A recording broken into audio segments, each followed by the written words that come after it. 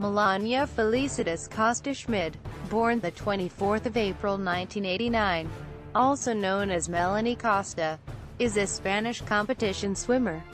She competed in the 2008 Summer Olympics and the 2012 Summer Olympics in the women's 400-meter freestyle, finishing ninth in the heats, failing to qualify for the final. She also competed in the women's 200-meter freestyle, finishing ninth in semifinal, failing to qualify for the final. She won six medals in FINA World Swimming Championships, including a gold medal. She is also silver medalist in the FINA World Aquatics Championships.